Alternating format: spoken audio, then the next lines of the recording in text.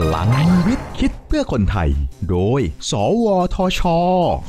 ตอนฮอสเมดระบบช่วยนำทางผู้ป่วยในโรงพยาบาล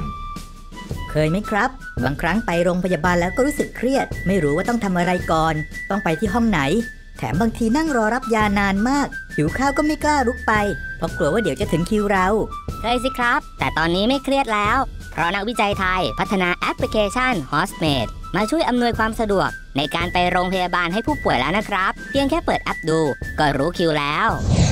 นักวิจัยไทย พัฒนาระบบ h o s m a d e ระบบช่วยนำทางผู้ป่วยในโรงพยาบาล และวิเคราะห์พฤติกรรมการใช้บริการของผู้ป่วย โดยพัฒนาต่อยอดมาจากโปรแกรม EasyHos h o s m a d e ช่วยให้คนไข้ทราบข้อมูลการใช้บริการของตนเอง ผ่านสมาร์ทโฟนหรือแท็บเล็ตเช่น แสดงคิวที่ต้องรอในการเข้ารับบริการตามจุดต่างๆ แจ้งเตือนเมื่อใกล้ถึงคิวต้องรักษา อีกทั้งยังแสดงยอดใบเสร็จล่วงหน้าได้อีกด้วย นอกจากนี้ นักวิจัยยังได้พัฒนาระบบเพิ่มเติม ให้โรงพยาบาลสามารถนำข้อมูลการใช้บริการของคนไข้มาวิเคราะห์ เช่นการวิเคราะห์คิว และเวลารอคอยของคนไข้ตามจุดที่เข้ารับบริการ แล้วนำมาจัดทำรายงาน เพื่อบ่งชี้คอกฎของการให้บริการ ช่วยให้โรงพยาบาลปรับปรุงคุณภาพการให้บริการได้ถูกจุด และทันท่วงที วิจัยและพัฒนา โดย n e c t e c h สวทช